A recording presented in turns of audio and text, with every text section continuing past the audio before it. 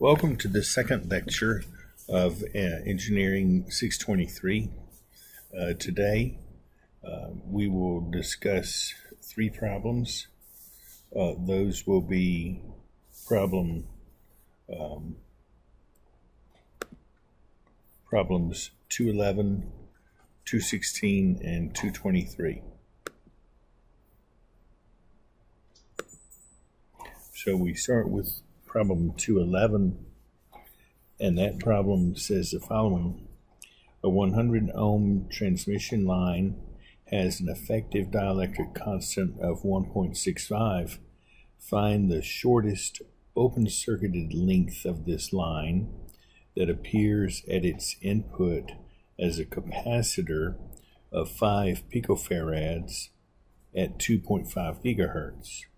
Repeat for an inductance of 5 nanohenries. So uh, the first thing we'll do is um, calculate gamma of z for this line. Uh, remember now, it tells us that the line is um, open circuited. And so that's why we use ZL equals infinity.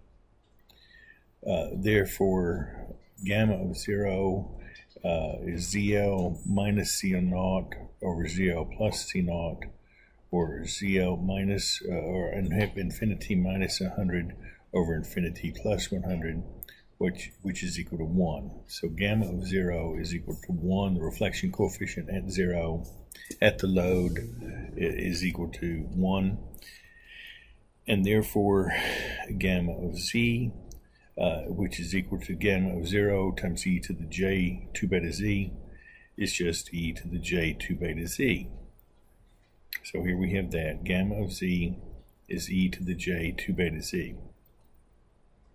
Now, uh, zn is equal to z naught times 1 plus gamma of z over 1 minus gamma of z, where um, we need to use z is equal to minus L if we want Zn. This, this formula here is a, a general formula to calculate the impedance at any point along the line, but if we, if we want Zn, then we need to evaluate this at this little z uh, being equal to negative L, where L is the length of the line. So keep that in mind.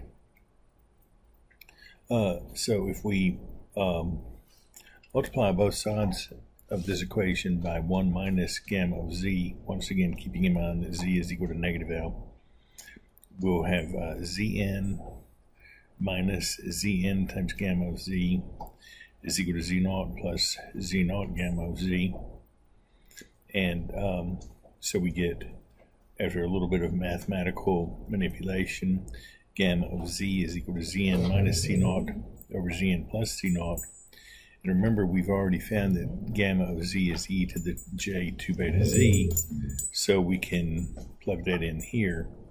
And once again, I'll remind that z, uh, and this little z here must be negative L, since we are using uh, Zn here.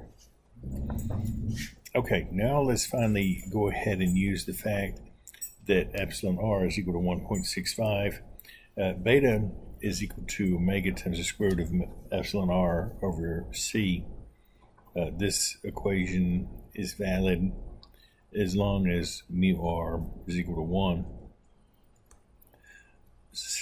So uh, when we substituted in epsilon r equals 1.65 and uh, use the value for C um, and the given value for F, we end up with beta is equal to 67.257 inverse meters. And uh, so if we substitute that value for beta back up into this equation that we have derived, we get e to the j 134.515 z is equal to Zn minus 100 ohms over Zn plus 100 ohms. And once again, I will remind you that Z here is equal to negative L, this negative of the length of the line.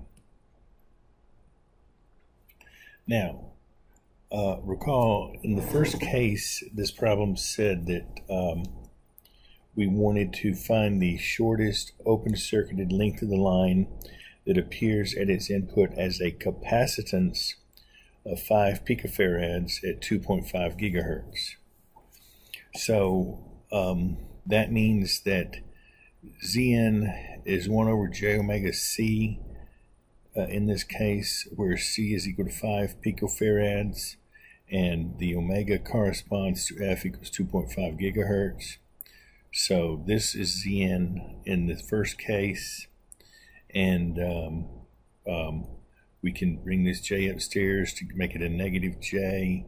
The omega is um, 2 pi f here, and 5 picofarads is right here.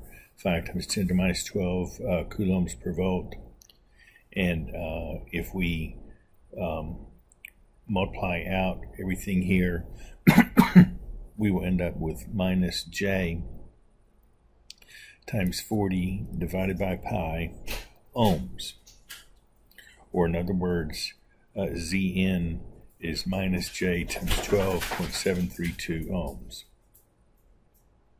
So if we uh, substitute that into uh, this equation here that we have derived, we will get e to the j 134.515z is equal to minus 100 minus j 12.732 over positive 100 minus j 12.732.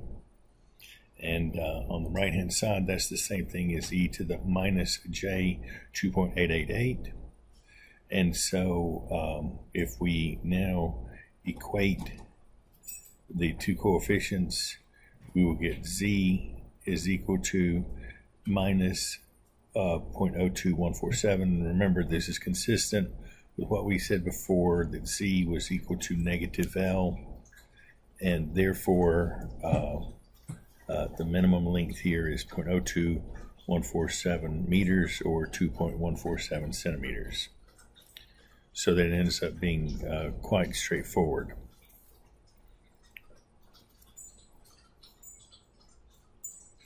Now, um,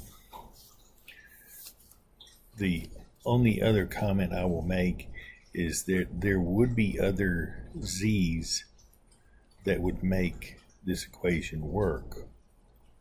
Um, because as you know, uh, uh, e to the j theta is the same thing as e to the j times the quantity theta plus 2n pi.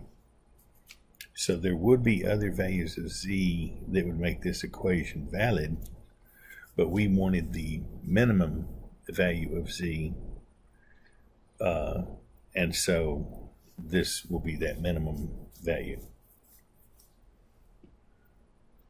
The, this excuse me, I should say this is the minimum value of the length, uh, 2.147 centimeters. I mean, of, of course, the length has to be um, a, a positive number to make sense physically.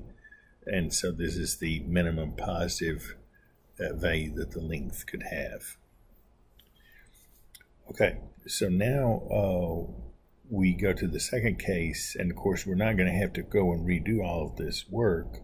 Um, this equation right here that we derived before will still be um, useful to us, but now, uh, since we, in the second case, want to make it the input impedance look like an inductor rather than a capacitor, uh, we'll just simply get va different values for Zn.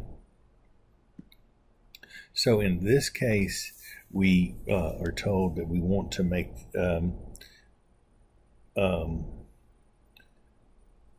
the line appear at its input as a an inductance of 5 nanohenries at that same frequency of 2.5 gigahertz.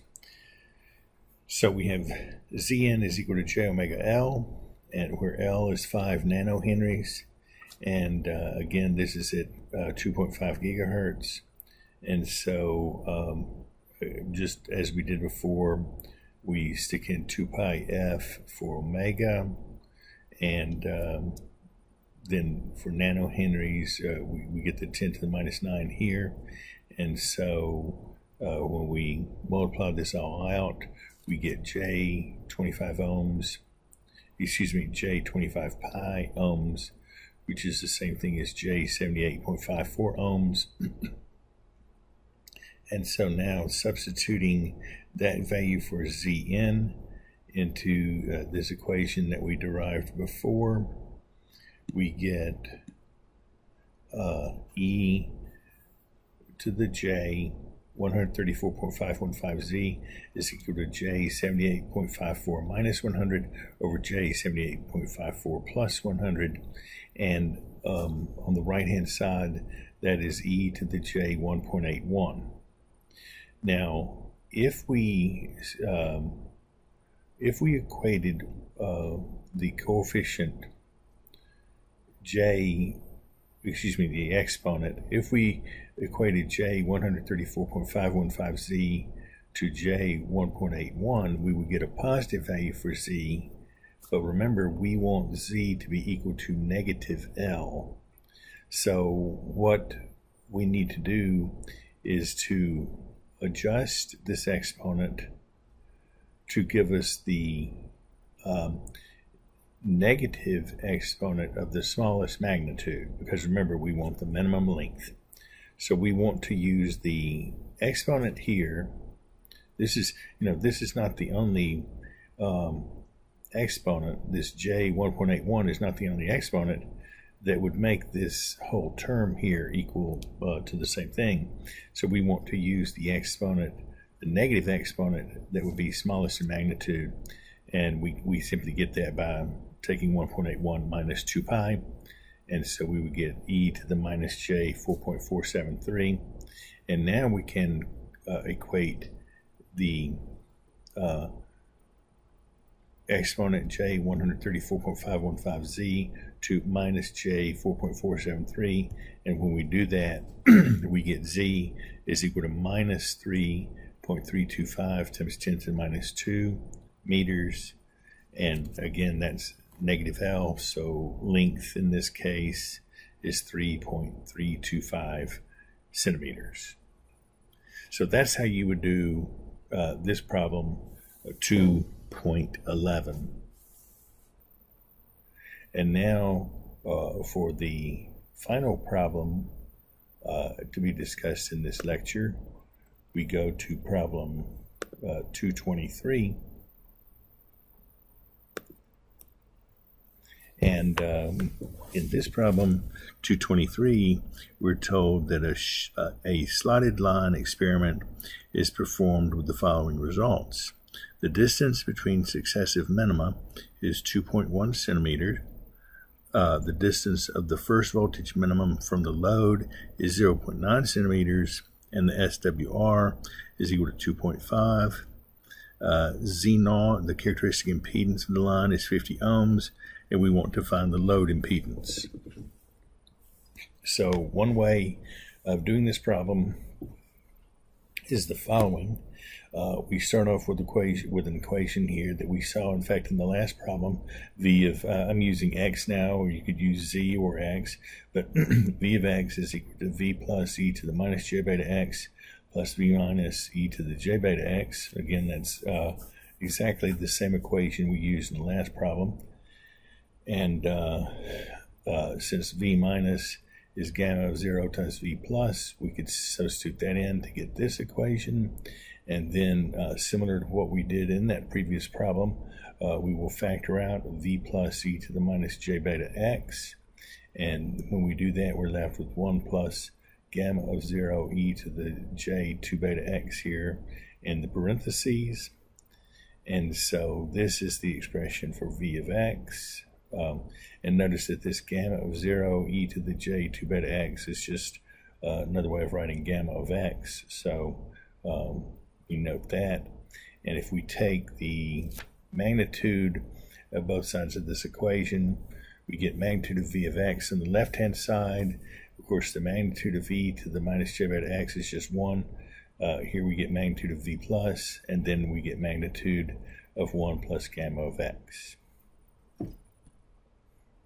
Now, if you look at this equation right here, and remember that gamma of x is equal to gamma of 0 times e to the j 2 beta x, that means that gamma of x is a complex number that will always have a magnitude equal to the magnitude of gamma of 0, uh, but this will rotate in the complex plane as you go to different values of x. It'll always have the same uh, distance from the origin, but it will rotate around the origin.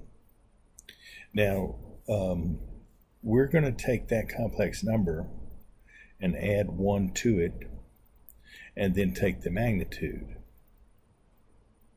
Now keep in mind, V plus here, this is just a constant. So the magnitude of V plus is a constant.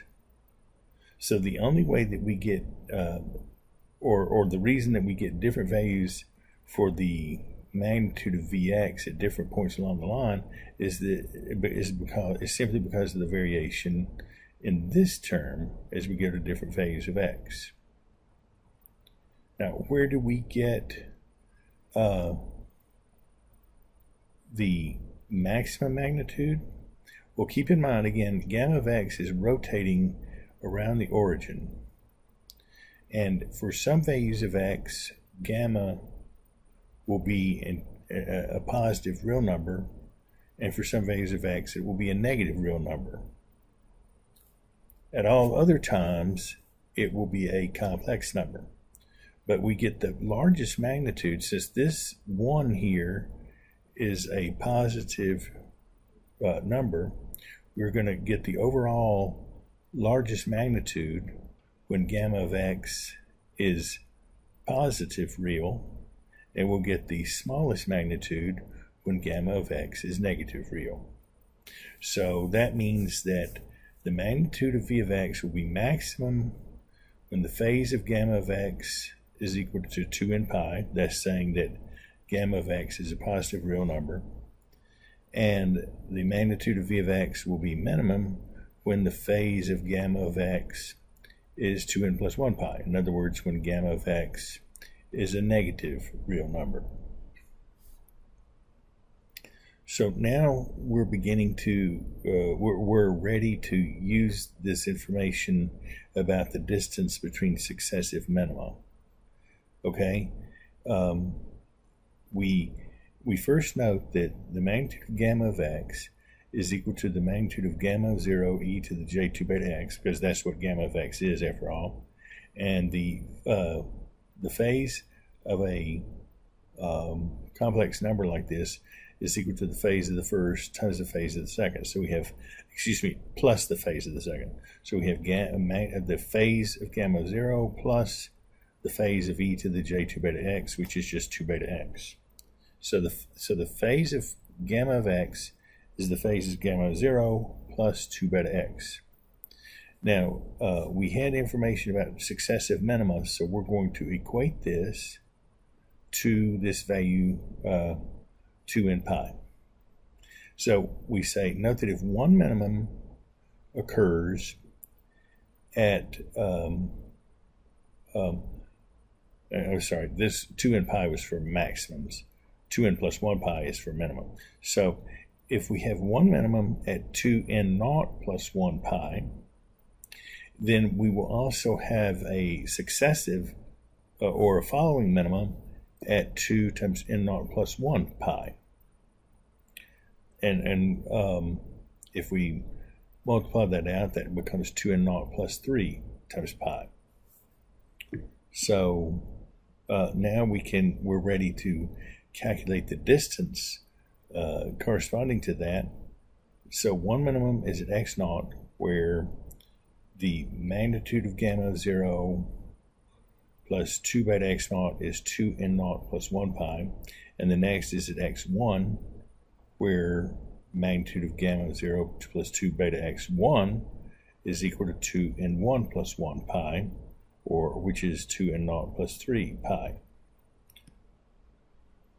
Now, if we solve those two equations for x naught and for x1, we get x naught is equal to this value, x1 is equal to this value, and now if we take the distance between the successive minima, we get x1 minus x naught, and when we take the terms on the right hand side and subtract them, subtract the uh, top from the bottom, we're just left with 2 pi over 2 beta or pi over beta, which is the same thing as uh, lambda over 2. So we have x1 minus x0 is lambda over 2, or if we multiply both sides of that by 2, then we get lambda is equal to 2 times x1 minus x0.